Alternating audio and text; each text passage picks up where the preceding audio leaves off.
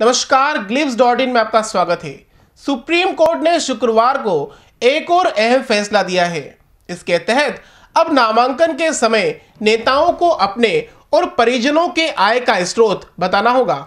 Supreme court ने कहा है कि उम्मीदवार के साथ उसके आश्रित भी चुनावी शपथ पत्र में संपत्ति का खुलासा करेंगे। यानी अब उम्मीदवार के बच्चों की संपत्ति भी वोटरों को पता चल जाएगी। जस्टिस जे चेलामेश्वर की पीठ ने यह आदेश एक फैसले में दिया। अब तक उम्मीदवार उनकी पत्नी या पति ही चुनावी शपथ पत्र में अपनी संपत्ति की घोषणा करते थे। शीर्ष अदालत के इस आदेश से अब नेताओं के भ्रष्टाचार पर रोक लगेगी। उम्मीदवार बच्चों के नाम संपत्ति रखकर पैसा बनाने में लगे रहते थे। कोर्ट का ये आदेश तुरंत प्रभाव से लागू होगा, लेकिन उत्तर पूर्व राज्यों के चुनावों में इसका असर नहीं होगा, क्योंकि वहाँ नामांकन भरे जा चुके हैं। कोर्ट ने यह आदेश उत्तर प्रदेश के एनजीओ लोक प्रहरी की याचिका पर दिया है। याचिका पूर्व आईएएस एस एन शुक्ला ने दाखिल की थी। चुनाव आयोग ने इस याचिका का समर्थन किया था।